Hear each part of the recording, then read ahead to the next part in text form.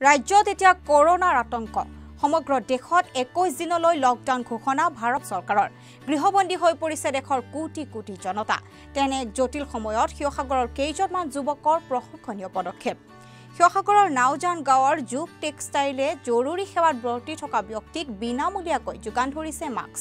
প্ৰতি বছৰে বহাগ বিহুৰ প্ৰাকক্ষণত এই যুগ টেক্সটাইলৰ শিপিনীসকলে ব্যস্ত হয় গামোচা পাট মুগাৰ কাপোৰ বোৱাত। কিন্তু এইবাৰ এক ব্যতিক্ৰমী ছবি দেখিবলৈ পোৱা গৈছে। এইবাৰ শিপিনীসকলে ব্যস্ত হৈ পৰিছে কৰোণা ভাইৰাছৰ প্ৰতি সজাগ হৈ মাস্ক বনোৱাত। যুগ টেক্সটাইলৰ স্বত্বাধিকাৰী টুলটুল সন্দিকৈয়ে তেওঁৰ শালত মাস্ক তৈয়াৰ কৰি সম্পূৰ্ণ বিনামূলীয়াকৈ বিতৰণ কৰিছে। জৰুৰী সেৱাত থকা শিৱসাগৰ জিলা প্ৰশাসনৰ কৰ্মচাৰীক শিৱসাগৰ অসামৰিক চিকিৎসালয়ত আৰক্ষী বিভাগ স্বাস্থ্যকৰ্মী আৰু সংবাদকৰ্মীক ঠিক একেদৰে ডিমৰ ন হাতৰ দুই যুৱক হোমেন গগৈ আৰু বিতুপন গগৈয়ে সম্পূৰ্ণ নিজা খৰচেৰে দিন হাজিৰা কৰি জীৱন নিৰ্বাহ কৰা পঁচাশীটা পৰিয়ালৰ মাজত আটা চাউল দাইল বিস্কুট চাবোন ডেটল বটল আৰু চেনিটাইজাৰ বিতৰণ কৰি মানৱতাৰ পৰিচয় দাঙি ধৰিছে। লগতে প্ৰতিগৰাকী ব্যক্তিক হাত ধুই পৰিষ্কাৰ হৈ থাকিবলৈ অনুৰোধ জনাইছে।